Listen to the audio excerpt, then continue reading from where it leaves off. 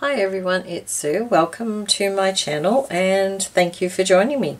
Just a very quick video, just to, um, an update on the handmade tags that I have been doing.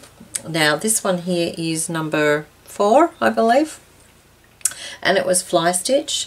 So what I did was I used this coloured fabric um, for the backing, which I actually bought to make face masks. Um, and what I've done is you can see I've got some buttons in the center and made the fly stitches into flowers with um, some stems and a frame around. So that's that one. Possibly the background's a little bit busy but never mind. Too late now. Uh, this one was the kisses one or the crosses.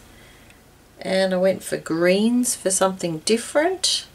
I am trying to use the scraps of fabric I've got um, so I've gone with the green. I've put uh, the white one is the sort of the main sort of uh, focal point, and then I've got little um, cross crosses around it as well. So there's that one. I also have this one, which is the buttons, and I did, seems to have suddenly gone dark. Huh, how peculiar. Um, I've got some heart buttons, flower buttons, a sparkly button. So lots of different buttons with the pink background.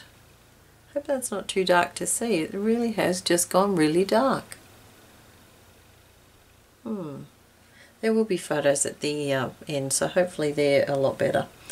And I have this one, which is the hexagon one, or the hexies, which um, basically just put them on a blue background, pop some buttons on, try to do some different stitches to attach them. So I've got French knots, uh, just a stitch that went around, just through the button to the sides, through the button to the sides, and just um, stitched down for that one. So they are my tags. Um, and I'm up to the next one, which uh, it's going to take a little bit longer I think because it's more of an embroidery one. So we'll just pop those on here. And as I, I am using recycled cardboard so they, they're not all the same colour. I have put white paper on the back but I haven't done anything on the back.